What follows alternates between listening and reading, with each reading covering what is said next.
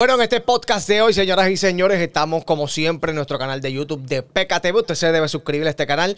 PKTV, donde usted se debe suscribir, señores. Vamos a darle a esto, a lo que a usted le gusta como siempre.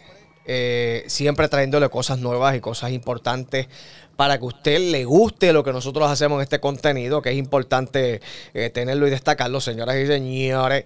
Eh, hoy, espérate, que no tengo el contenido aquí. Ah, vamos acá rapidito, señores como todos los días, tú sabes que comentamos cosas de la cual atañe al pueblo de Puerto Rico y a la gente, ¿verdad? En general. Que eso es bien importante. Cuando uno tiene cosas en general que uno le importa y uno, uno las habla, uno las detalla al 100%. Eh, como todos saben, y el título lo dice, eh, hace unos años atrás, y cuando digo hace unos años, te puedo hablar de 15, 20 años aproximadamente, eh, en el municipio de Cataño se compró una cabeza. Y cuando digo una cabeza, es una cabeza eh, para construir o montar una estatua. Y cuando hablo de la estatua, es que estoy hablando de la, estatua de Colón, que hoy día está en Arecibo, que ha dado muchísimos problemas con turismo, entre los vecinos también, que obviamente pues hay muchos regueros por, por el área. Y ha dado problemas porque la realidad es que de Cataño, yo no sé si pasó Mayagüez, de Mayagüez a Arecibo, es la cabeza que más vuelta ha dado en la historia de las cabezas en Puerto Rico o de los monumentos, señores. Eh, rapidito, eh, para poder hablarle de toda esta controversia de esta cabeza.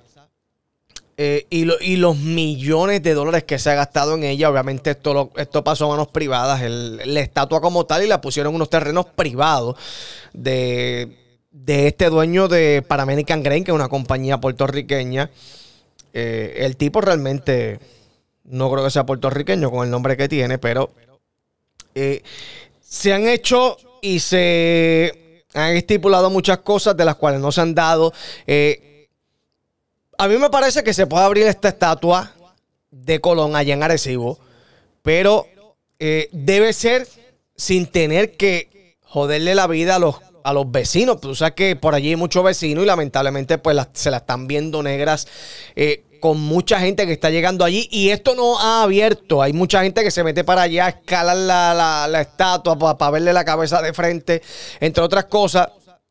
Y la realidad es que esto todavía, desde hace muchos años que se montó, pues turismo no ha, dado el aval para poder abrir y que la gente pueda ir a disfrutar de esta cabeza ecolón que han puesto en Arecibo.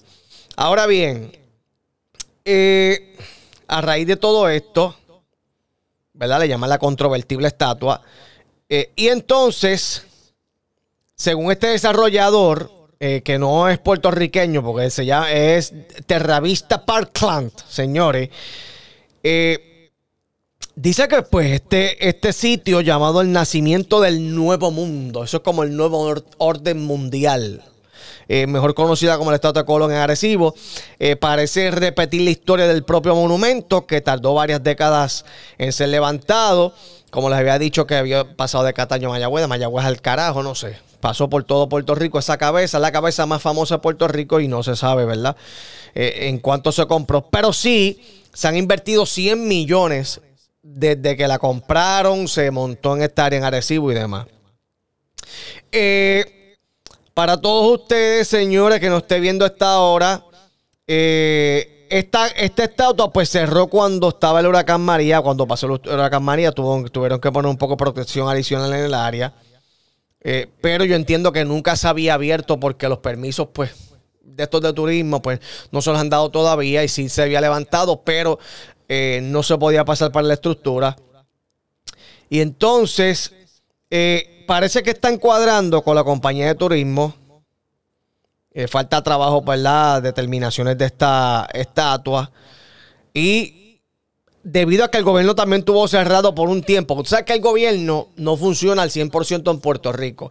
Y la gente que trabaja estos papeleos y cosas, eh, pues se dan un, guille cabrón para poder agilizar permisos y cosas, eh, ya sea para propiedades, eh, permisos para construcción, permisos para un terreno, permisos para abrir un restaurante. Todo en Puerto Rico está jodido gracias a la gente que trabaja en el gobierno. Vamos a hacer, vamos a comenzar por ahí.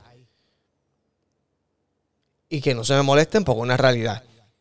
Por ejemplo, tengo personas allegadas que van al municipio, a cualquier municipio, y dicen, no, es que esos, esos papeles yo trabajo los jueves nada más. Vas otro día. Ah, no, es que yo los trabajo martes nada más. Lo que hay es una batata. Gente batata trabajando permisología en, el, en los gobiernos en Puerto Rico. En los municipios, en el gobierno y demás. Eh, y por eso, pues, muchas cosas se han retrasado.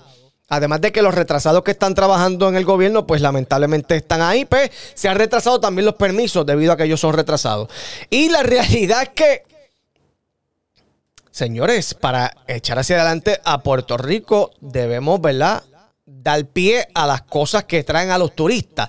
Pero hay que hacerlo de una manera, manera organizada porque eh, esta estatua, señores, le está dando dolores de cabeza a los vecinos de esa comunidad que viven cerca de esa estatua de Colón.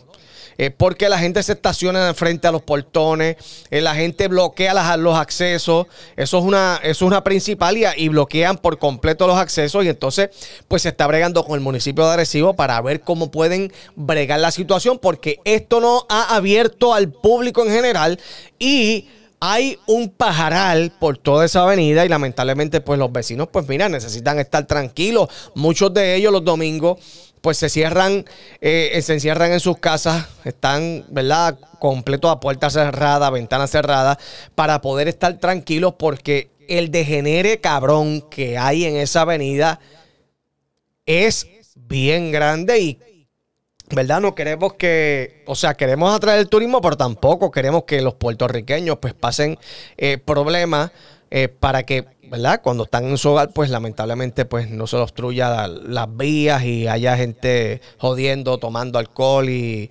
fumando y jodiendo por todas las calles. Y eso es lo que también hay que bregar. O sea, el municipio de Arecibo tiene que llegar a unos acuerdos y también el gobierno de Puerto Rico con, estos, con esta permisología, porque no estamos diciendo aquí que se le nieguen los permisos eh, para que la gente pueda verle la cabeza a Colón allá arriba y pueda hacer lo que le salga a los cojones.